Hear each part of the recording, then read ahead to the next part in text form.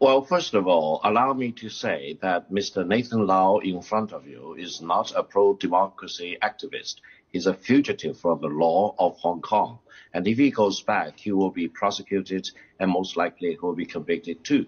Now, he talked about demonstrations or protests peaceful. Use your own eye to see where is the peacefulness of the demonstrations. There was violence everywhere in the streets of Hong Kong. There was a storming of the electrical building. There was disruption of social order in Hong Kong. If you call that peaceful demonstration, you are losing your mind. You are losing your sight. You are losing your wisdom. What happened in Hong Kong could be compared with the storming of the U.S. Capitol on January the 6th. And the U.S. government has rightfully labeled that as domestic terrorism. Nathan, well, just, if you just, just, just, just hang on a minute there, Victor You're, you're throwing all sorts of you're throwing all sorts of accusations around there, but the comparison there was there were protesters that invaded the Capitol and tried to overthrow an election.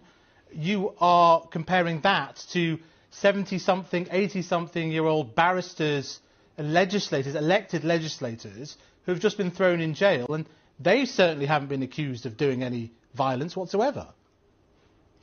I think what they have been convicted under was not under the national security law. They have been convicted under existing laws in Hong Kong.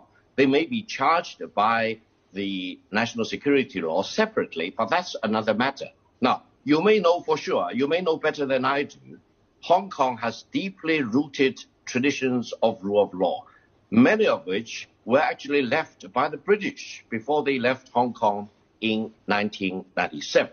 Now, Hong Kong should promote greater democracy. There is no doubt about it democracy everywhere in the world could be better improved and better promoted. Well, not by throwing people in jail via protest.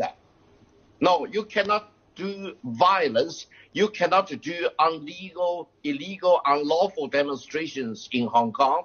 And this is true today. This was true under the British in 1997 and before. You can't Let's blame the British for this. this. There was promises were made in 1997 that for 50 years Hong Kongers would live under the same social and economic settlement. Where is that promise, that one country, two systems exactly. It's gone now, isn't it? You mentioned uh, whether one country, two system is dead. Let me assure you, one country, two system is live and thriving, and it will be continued up to 2047 and if the situation prevails, it may even be extended beyond 2047. Anyone who believes that one country, two system is dead in Hong Kong, again, you are indulging your own imagination. Hong Kong people do not need to fear about arson, anarchy, violence. That's the fear that troubles everyone in Hong Kong. Well, and democracy, if you want to promote democracy, use peaceful means rather than well, commit violence or incite violence. Um,